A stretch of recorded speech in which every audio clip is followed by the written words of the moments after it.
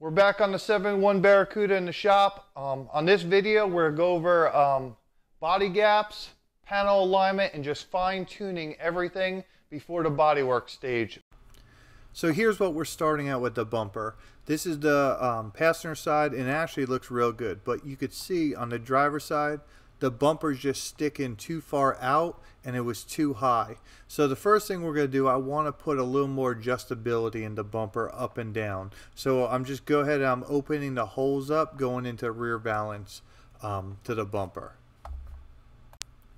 After that, I'm going to go ahead, I, am starting to cut the bumper brackets. I ran this uh, half inch tape and that's actually what we're going to take off both sides of the bumpers. That should bring us in right in line with the edge of the quarter panel so the bumper looks flush and follows the body line right down. You'll see in this picture right here, you see we're about right in line following the arch. Now we just got to fix the quarter panel to bumper clearance and that's what we're going to do right now. So with the cutoff wheel, we just simply cut off the excess uh, where our line was and everything underneath. After that, we're just going to take a body hammer and just tap it into place and that's going to give our extra clearance. Once we get all our extra clearance, we'll go ahead and take the welder and we're going to just, you know, stitch weld this whole corner back around. Just take your time. It's not too bad with this. You go a little bit faster since it is on the corner and there's a couple body arches here. So I'm not too worried about warping the metal um, or anything like that. And after we clean it up with the grinder, you can see this is what we're left with. It's going to follow the curve of the bumper a lot more. So here we are, we're putting the bumper back on. Um, this bumper through this whole process, obviously like all these pounds, are going to come on and off, I mean, tons of times. Just be prepared for that. But as you can see, the bumper's got to go up a hair more, but it really matches the curvature here. This is the passenger side. Again, it's just looking a lot better. It fits in the rear uh, tail panel a lot better. Everything's straight on the back end. All right, we're about done with our rear bumper uh, for the most part. Let's go ahead and move on to the trunk. We're going to use this paint stick as our reference. I believe it's about 3 16ths, about where I like to set my gaps. I think it gives a good balance between the two, um, too big, too tight. So what we're going to do, we're going to take this paint stick and we're going to slide in. I want it to slide without hanging up, without gripping. That should give us plenty of room, but I also don't want too much side to side movement. It's If it's a little bit, we're not going to nitpick this and you know, it's not, we don't have to go that far. But you can see we're starting up here in the corner, moving down. It's tight the whole way. And this corner right here is good. So I don't have to worry about that. Now, with the paint stick, I'm also going to turn it this way and I'm going to go down the whole trunk gap and same thing. I'm looking for, if I'm looking here, I want to make sure everything's straight and I don't see daylight under there. So we're going to move down and then that's going to make sure they're lined up, profiled that way, side to side. We got a nice smooth movement there. I already can tell without doing it right there. It's probably hard to see on the camera, but the paint stick there's air gap right there. So what we're going to have to do, I already can tell, and we're going to go ahead and mark this. So from here to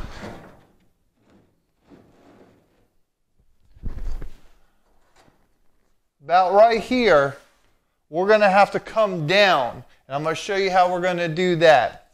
So let's go ahead and finish marking our thing. I'm going to put a little down arrow there. And normally, you don't want to write on any filler or anything. I'm stripping this car down to bare metal, the whole exterior body, so I'm not too worried about writing on it with the marker. But if you're on a um, any kind of primer or anything else, use a pencil, something that will come off. So same thing right here, we're actually also too tight. So we're to work with that. This also has got to be separated so from the area is good on the quarter panel, from the trunk right here in this rear package tray, um, rear deck filler panel, I'm sorry, um, this has got to be come out. And I'll come in here with a tape measure a little bit and check the measurement. So from there to about where we're too high too. So that's actually good that we're going to have to modify both of them. So right there, we're gonna have to actually back it off a little bit and go higher. We're looking good there, it's all tight. Coming around and see right here, it starts opening up again. You see that gap? So right there, I'd say, is where we're gonna start. And then I know for a fact, all the way over here, over here into this curb is too much. So, I mean, really, we're looking at looking at least fixing this whole curve right there, and we're gonna close all that in. Now, there's a couple ways to do that too. You could add TIG rod on the edge here and uh, TIG it up. You could MIG the corner. Um, what I think we're gonna do, because I already can tell, looking at the profile of this, this all looks pretty decent right there. And when we start getting right about here, it starts dipping down. I mean, you could see on the camera the difference how high the trunk is here. But when we get over here, everything lines perfect. So if I try to mess with the trunk, we mess up the gap here. So what we're gonna do, we're gonna go ahead and we're gonna prep this and we're gonna cut this area, hopefully lift it up. While we're lifting it up, we're gonna close this gap at the same time and then we'll work our way over here. So we're gonna take it one section at a time. I think we're gonna go ahead and do this area first. And then I also got, I already know because I was messing with this, the gap over here looks all right, but then we get down here at the very edge, you can't, right there on the corner, the gap closes up. So we're gonna actually go through and we're gonna open that area up. Um, that's what we're going to do. I'll show you some video. First, we're going to get prepped out, bare metal, the spots I'm going to mess with, and I'll go ahead and take the cutoff wheel and try to take you and walk you through the steps on how I would go about do this. This is not the only way to do it. This is a reference. We're going to try different techniques on this whole car to give you tools and different ways to tackle a project. Like I said, whatever, when you think about whatever's easiest for you to accomplish the task of closing the gap or opening the gap. I didn't say this earlier, but another major thing is you want this trunk about as centered and perfect as you can get it before you even touch this gaps. I'm lined up with the edge of the quarters. There's no more adjustment in this trunk that I can make to get these gaps closer in any direction. All right, so now we got this thing prepped. We're going to two birds, one stone um, deal. We're going to try to cut along this line, push this piece down, level the two out while pushing it back. We're going to see what we can do. Not saying for sure if we can do that. Um, also, I want to know, I put spacers in. I'll tell. I'll show you what they look like.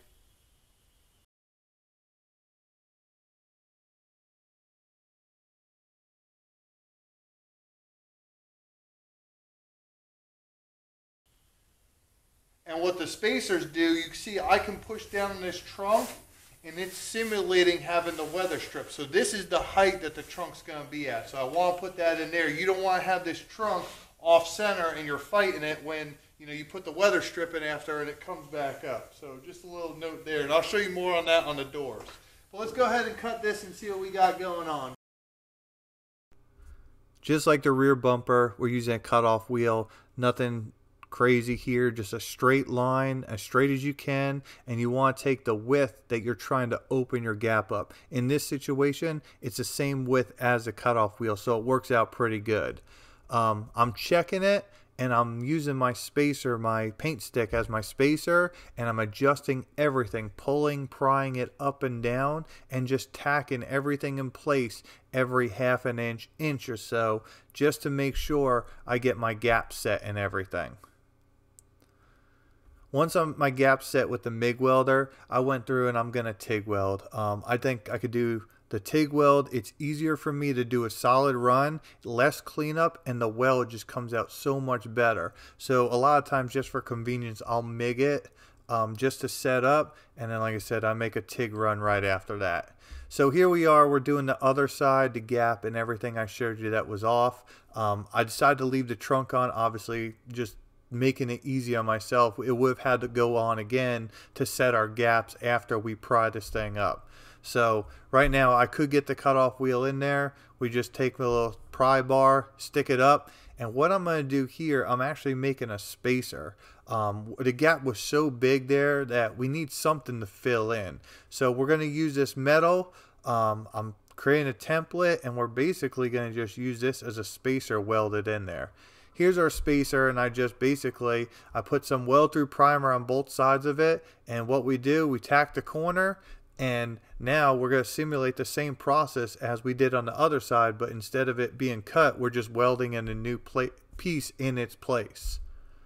Um, so yeah same thing just every half an inch we did the one side and I did the other side and then now we'll go back through and follow and make sure our spacing is set perfect tacking it every inch or so again be prepared to go through and just keep adjusting. Um, I mean, you might have to cut off a, a, a, one or two weld. That's why we're tacking now. We just want to make sure everything's perfect. And then when we get enough tacks in there, we can make our straight run with our TIG welder without warping anything or moving anything. You know, if you went ahead and been overzealous to weld this thing, it's going to be S bent the whole way around. So, like I said, just go slow, put as many tacks as you can, take your time on this. Um, same process now, like I said, we're done with the MIG welder. We're going to just run the TIG welder on it and it's going to make cleanup easier, less heat, more concentrated area, and it really puts a crisp corner on it versus stitch welding with the MIG welder. If you have a MIG welder and that's all you can use, it will work. I do it many times if I don't have it cleaned up. You can see our top area is all welded in we're working down this corner with the same process. Um, I'd put a spacer on the top and then this corner just got really tight there. So what we're going to do is just basically cut off the corner, tap it in and do it just like we did the bumper. So we use our spacer and then we're going to just weld it and then we're just cleaning it up right now, finishing that weld off and just rounding everything to make it look clean. What I'm not showing here because I'm skipping through this process is I am opening closing the trunk many times and just resetting everything. When you go prying and pulling on this stuff, make sure you relieve it by opening the door, open the hood, open the trunk, and then reclosing and make sure everything's still set in the right place. Um, we're just finalizing the welds right now before we clean it up. Um, you could see this whole corner had to be, you know, the gap had to be closed off. Um, it wasn't horrible, but you know, for the level we're trying to take this car as a show car, I want everything on this car to be better than factory. It's actually, if you know factory cars, these cars weren't known for the perfect gaps, but I want this one to be a lot better. This is what the weld looks like. Um, you could see why we TIG weld. It does come out, I think, a lot better. Looking down the gap, it's really straight for an all metal gap, especially now that it's cleaned up and this is the bare metal. It's, it will still need some filler to just clean up everything and just make it perfect, but it's good for now. All right, now we're done with the trunk and the rear bump. We're gonna move on to the driver's side door and then the passenger door. Uh, what we're looking at, the door, the quarters were put on and profiled basically off the door, so they're really close. And same thing with the front end. The front end was all set from the forward back, so gapping this car and fixing everything is gonna be easier because we spent more time earlier. But what we're looking at, this top piece right here, I don't know if you can see it, it's, it's curving out a little bit, just how the quarter panel sit. So we're gonna just build up on that and kind of follow the profile of the door. Um, the door, we're gonna leave the curvature on the door because I know that's how the Barracuda is. This door is a factory door and untouched. Uh, our profile on the quarter is just arching a little bit more like that towards the bottom. You can see it's just a little bit looser down here and it got a little bit tight up here. So we are gonna try to, basically what I'm gonna try to do first I'm going to take my body hammer and from the inside, I'm going to hit this inside where the windows are in the rear and we're going to try to move this bottom support piece on the front of the quarter that's welded to and we're going to fix the gap that way. If we can't do that, then we'll go in here with some metal and weld it up and fix the door jamb knowing the door itself is fine. So, I mean, but we're, we're barely off. That shouldn't be too bad. Then we're going to move on to the front of this uh, door. And what we're looking at, we're a little bit gapped high up here. So what we're going to do, we're going to add TIG rod to the top of this door seam. And then also, I'll show you when we, you know, move the camera and we actually do it, you'll see the hood's a little bit higher than the, um, and the door than the fender. Just sitting low. So we're gonna go ahead and build up that corner to make this curve follow back. Besides that, the front of this fender, I could slide the stick down it. It feels good. I mean, the gap's a little bit tight. I might open it up in one area, but for the most part, we're good. Now, what I was showing with you on the trunk is I'm using the body shims is what I'm basically using. As you can see, as we're prying and hammering on this door, it's not moving. We want it to stay still, and I know some people will put filler right here to close up the seams and lock the door in place. Some people will weld it or put a little bracket on it and screw it in. We're gonna use the factory door um, latches, and what I'm doing, I'm taking double-sided tape and where the rubbers would be, I'm putting these stoppers with rubber on top, just a small thick piece so it doesn't bend, and Velcro on the bottom. I could do a couple of these different sizes and I could shim them out so the door's where I want to do it and I could simulate the factory rubber. And with that, it doesn't hold solid. So when I go, I close the door, it's solid, and I just, I'm using the car how I feel it's going to be when it's assembled. You know, we're not pushing anything, we're not fighting anything as we're trying to gap, push, and pull on this, especially if we use a body hammer slide hammer and try to pull behind it. So just a little tip there. Let's get to these doors. Um, we'll see how hard they are. Maybe they'll hammer out. If not, we'll weld a little bit on them. I know we're going to have to weld on the front, so I'll show you that. And uh, so like I said, we pull out the body hammer um, and we're go ahead and we're relieving the metal from the outside, pushing it in, and we're stretching it out. And then right now, um, hitting the hammer towards the door, there's an inside brace in there. Between both of those process, this slowly closing this gap little by little. It's so small you can't even see it on camera, even sped up like this. But I can feel the difference. Um, and you see when we're done in a second, it really paid off. This uh, door gap to quarter gap really came out really good. And then it was profiled really straight too.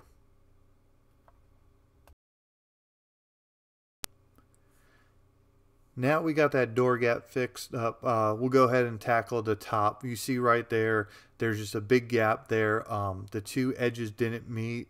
Uh, the aftermarket tooling, I mean, it happens. Be prepared that this is the stuff you're going to have to fix. Real easy. We take the MIG welder and I just filled it in. Um, we'll grind it down and then now we're on to profiling um, the front door from the fender to the door itself. Uh, you could see I'm marking where the fender was rolled in in certain areas and we'll just take the slide hammer I got an L hook on it basically and we're just pulling that fender out and it will go do the door once we're done with that. So pull out with the fender, hammer back in with the body hammer and you just keep adjusting back and forth until you get it right. Try not to go crazy and just do a little bit at a time. You don't want to overstretch this metal. It kind of takes a little bit of a finesse here. Um, I'm also not pulling hard on the slide hammer. It is 11 pound slide hammer, um, but you see after every couple hits, I go ahead and check exactly what I'm doing. And if I go a little too far, I just take the body hammer and readjust. But like I said, you don't want to put any dents in this thing. Um, it's kind of like putting heat to something. If you're using heat to shrink metal, you don't want to overdo it. It makes it a hundred times worse. So just start small and just keep checking. But you do this up and down every door and that's another reason why I said we have to use the spacers because we're pulling on this, the door would be moving in and out without those solid spacers. And you could see this door doesn't move. I also decided to open up this gap a little bit. It just was a little bit too tight on the top. So we took the flap disc, we cut it down. Um, you can see just going over it a couple times again. Less is more here. Now we're going to have to weld up this gap because we did go past it and split the seam. Um, so at that point, just know you're going to have to actually open the gap a little bit further. So when you weld it up and then regrind it, it's back to where you want it.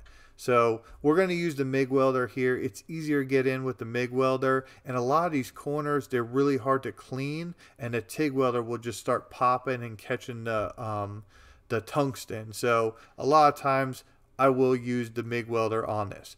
Be aware after you weld up this gap, it's going to want to curve in from the heat shrinking. So what you're going to have to do, you're going to have to go back through with your slide hammer again and re-pull out this corner of the fender or anywhere else you weld on. I also like to round off the corners there.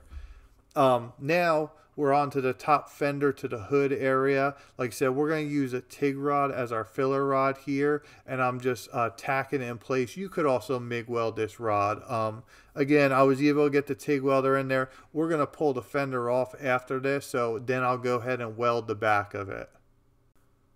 My TIG settings, um, uh, 332nd, I'm using on this 16 inch filler rod and a red tungsten.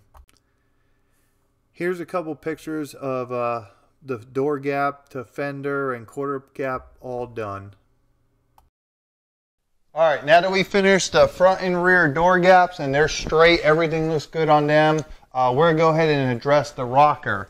Um, it's gonna be hard to see when the car is on the ground, but I'm gonna know it, so we're gonna fix it. So if you look right here, I don't know if you can see, this part of the rocker is in line with the door. But when we get around this area, you can actually see if I hold this straight like that, the door starts hitting the rocker.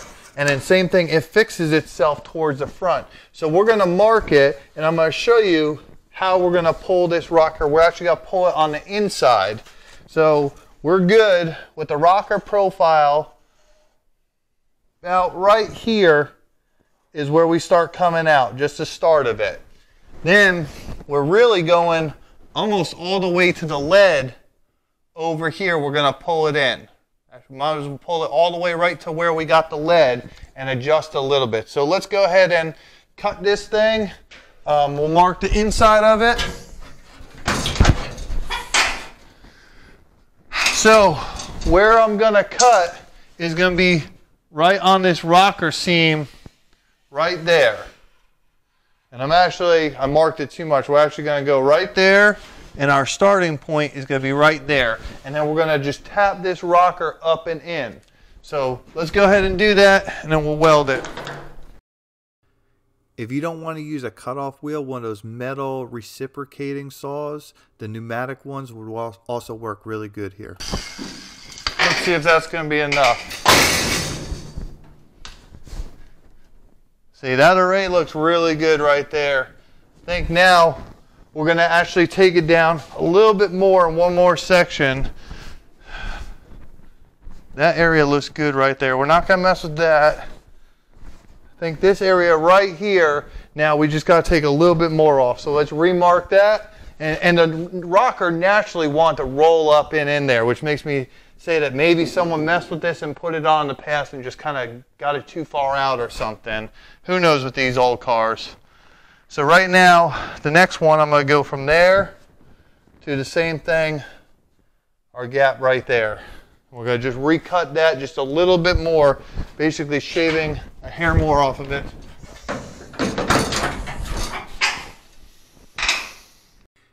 In this instance, I'm using this cutting wheel more as a grinding wheel to get this job done.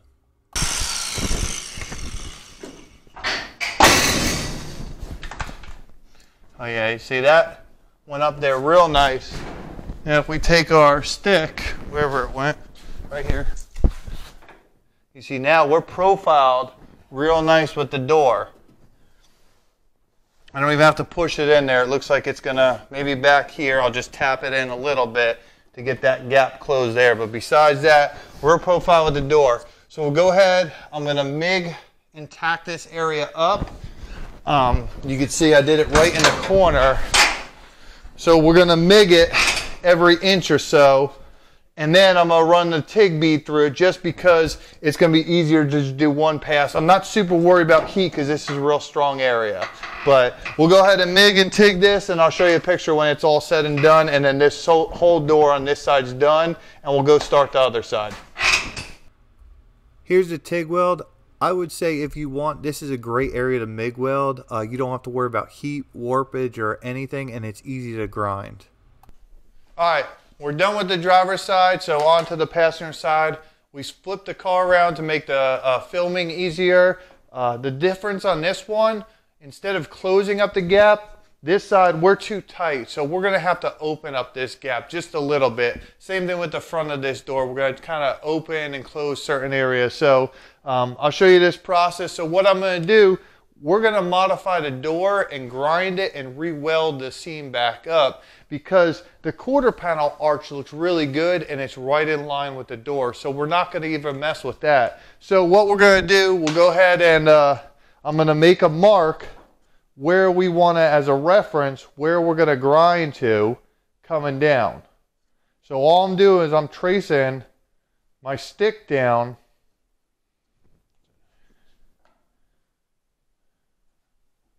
and that's going to give us our reference point and my gap now I want to grind this whole black mark down and that should give me my gap where we got to be.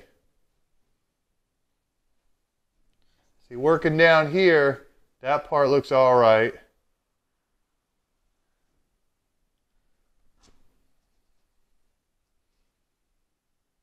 And I'm using the stick on the edge of the quarter panel as my reference.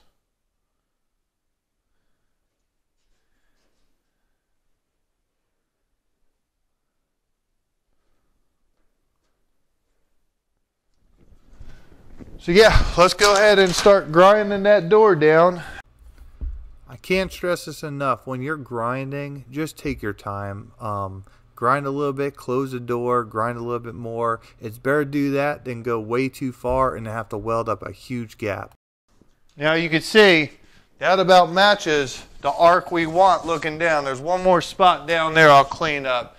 But for the most part, we got to do up top here too. I didn't do that area. So we'll clean this area up down there, but that's what we're doing. We're grinding it down and we basically spread the lip open on the door because we went too far. So now we got to go back through and weld up that whole seam.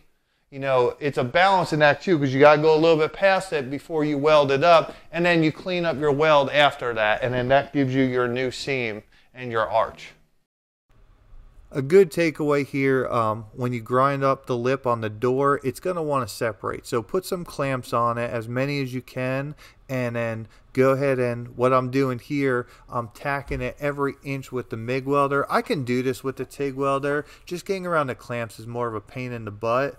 Um, but again I like to tack with the MIG welder and then what I'll do I'll go through with the TIG welder and weld everything up. And then your MIG welds, you're just using that. It's the same filler rod, so it just blends it right in with no problem. Another reason I'm using the TIG welder is when you go, you'll see in a second, we hammer the door back out because the metal shrinks inward. It's going to be easier and it's not going to try to crack or fight you like a MIG weld. You can actually hammer this and get it really close before you even grind down the weld so you're not grinding too much. So here I am checking it, the weld beforehand. So as I said, I'm hammering dolly the door out. Um, I'm using a hardwood dolly. Uh, shout out to my buddy Dave who made this thing. That was really cool. He went over the top on this. I asked for, you know, a hardwood dolly and it's all different colors glued together and he spent hours hand shaping it. So thanks, man. But I do like the hardwood dolly. Um, it doesn't put as much strain on the door and it, it just it it's easier to work for me in a situation like this. So um, what I'm doing, I'm working the door. You might have to work the quarter panel, but I did install these quarter panels and I already profiled them in line with the door. So they were pretty close to perfect before we even started this process. So what we're doing now, we're just fixing the door metal that we shrunk from the weld. And you see, once we do that, we're just cleaning up the edges. You want to get your door in line almost perfect before you clean up the edges because your gap's going to change the more you start bending it in and out. As you can see here, we got the gap fixed. We're just tidying up the very last little bit. Again, checking it a bunch of times. Uh, here's the front gap looking pretty good. And then uh, this is it profiled down the side. All right, so we're messing with this aftermarket hood right now and honestly not really happy with how it's coming. I talked to the owner and talked about some options on what we can do. Just being that uh, this is a Golden Star hood, it's the only one we can get at the time.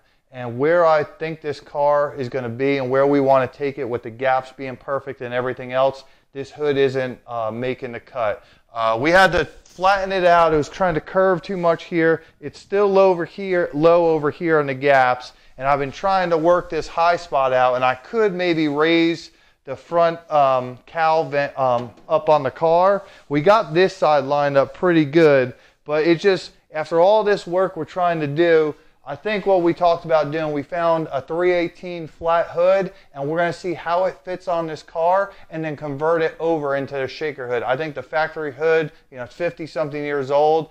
Um, the one we found might uh, be real solid. I think it's be a good candidate for do what we're doing if it fits a lot better than this hood. So what we'll do, we'll make sure we get it to fit. Whichever hood fits better, we're gonna go with that route on this car. So as you can see, it looks like the flat hood's going to win. It just doesn't have the curvature in the center. Everything lined up so much better. Um, it just, the aftermarket tooling, I think what it was when the factory stamped the center, they put too much of a curve and stress on the frame of the hood. But here we are, we did have to gap this side on the fenders. Um, it was too tight of a gap. So same thing we did in a trunk. We just took a cutoff wheel, cut it down the middle, and then we're bending it back to get our right gap. And then we MIG'd it, and then now we'll go through again and TIG weld it. Um, again, we're keeping the heat out of the fender. It's going to be with the TIG weld, limited amounts of body work compared to if you were going to MIG the whole thing, but it is possible to MIG the whole thing if you have to. So now that the hood's gapped on both sides, to go ahead and fix the profile issue between the front upper, uh, upper cowl and the hood itself. You could see the curvature just doesn't line up. I'm going to say it's probably this aftermarket piece. Um, it just, in the center, you could see how much higher it is than the hood. It almost looks like we got two little dips in it trying to follow the hood bend in the middle. Um, so I'm just using the paint stick. We're finding our arch and I marked it. What we're going to go ahead and do, I drilled out the spot welds and we're using the air chisel and we're going to just pop the front skin actually off the frame. Once we relieve it, um, we can go ahead and kind of slightly modify it and follow the curve, push it up and down where we want, and then we'll go ahead and re-weld it back up. So we did relief cut it. You can see it's a little bit better already. Um, I decided to go ahead and double check that side. I'm not trying to cut anywhere that it is in line, but looking, it was just easier to pretty much take most of this hood off. So now we're on with the air hammer on the other side, removing the spot welds. Um, again, we're just relieving the whole hood. And actually, once I did pull the spot welds, the hood actually popped up. It naturally did want to go. So it makes me think that maybe this hood was down a little bit too far too. Same as everything else, this is a work a little bit on it, test it out. But you could see compared to what we were looking at in the previous video, that hood looks so much better. Both of those curves and arches just profile so nice. So we'll go through it. There's one area that's a little bit high. Um, so we're going to go ahead and clamp that down. It's going to be right here. It's just a little too high. You see where I'm pushing it down? So we'll take a clamp and we're going to clamp that down. The rest of it did profile real nice. The corners worked out really well and it just Things like this make a big difference, especially when you're trying to put filler on the edge of a hood. Same thing as a door. It's just bad practice because it's something you're always slamming. So you want to get these corners. It's so tedious and it's so small. And the rest of the hood looked good, so only would have been the edge. But to me, that's where you start chipping the edges and corners when they're not lined up you could see I'm just slowly checking. I'm actually right here marking all the good spots where they're really good. And I know we got the high coming up. So you'll see in a second, we'll actually put down arrows on the highs. And you could see right there on the front cowl, that little bit of air gap is what I'm looking at right there. And you could see as I'm pushing it down, it actually is relieving down. So it's good. We know we have some play in it that the hood, no problem fixing this. Since I can't show you everything, I'll tell you this hood and most of these spots that are good is already pre-tacked into place just lightly in case I had to cut them off. I did leave that one high spot off. Now we go through and we're going to go ahead and weld it. Um, this only had four or five factory spot welds in the whole front of hood. I put one every inch and a half, two inches, um, just 3 16 drill bit. I used a deburrer tool to really get in there. And you could see we're also going to have to clean out and uh, um, sandblast underneath this hood. Um, it's from, like I said, a 50 year old car and it's been sitting outside. It's obviously not in perfect shape. But before we really put the work into a hood and converting it to a shaker, I wanted to make sure it was going to fit on this car. Um, welding up these spot welds just like anything else around the car you've seen in the past, nothing different here. Hopefully this video on the panel alignment and gapping really helped you out. In summary, taking a paint stick, you're just making sure all your gaps line up. Also, take some kind of straight edge paint stick and make sure your two gaps here aren't rolling in. The reason you don't want to do that is if we're packing this corner here with Bondo, A, you'll see the variances and the door will look super thick. You can usually go a car show and spot who skipped this step and just overcompensate with filler. The reason we don't want filler, besides it looking sharp and crisp, is if we have filler on these corners, there's a greater chance they're gonna hit something, chip something, being on the edge, and it's gonna come off, and then now your real nice paint job and all your work's destroyed. So we focus on, stripped all the corners down, got them to bare metal, and then I went back through and I went and I epoxy primered my other areas just to make sure they don't rust. As you could see, we did a lot of work on the hood. We were messing with it. Um, and I, we didn't like that aftermarket hood. I think this flat hood's the way to go. In the next video, we're gonna try and install a, uh, a shaker like they would from the factory from this flat hood. So stay tuned for that. I don't think anyone's really doing that. So we're gonna see what we can do with that. Um, we got the hood pretty much lined up. You see we fixed this whole front cowl panel. Everything looks a lot better on it. It's just these aftermarket parts, they're just, it's so hard to get them aligned that this is the step I think that's the most crucial in building these cars and take the time on the metal work and this alignment because I think when you start doing the body work, it's gonna really take off. So hopefully this video helped you give you some tips, tricks, and scenarios in different ways that you can do it in your shop. Please uh, like, subscribe, comment, tell me what you think, and uh, we'll see you in the next video. Thank you. We're going to just do a couple shots um, of the car and the panel gap and looking when it's all done. Um, so you just can see the final product, everything in metal um, before it goes epoxy and just see the work it's done. I mean, this car does look laser straight for what it is. You got to remember, there's no filler on this car at this point in time. Um, not going to be unrealistic. This car is going to need filler in some spots. It's got some ripples here or there, but for the most part, the the profiling on all the panels looks really good. The gaps on it look really good. The bumpers fit good. Um, it's just it was well worth it when you look at it this close that it's hard to nitpick this car even with no filler. And I think with the filler, it's just going to clean it up in the bodywork and everything else. So again, I hope you really enjoyed this video. Hope you like what we do. Uh, like, subscribe. Um, any questions, uh, just reach out and hit us up. Have a good day and uh, good luck with your project.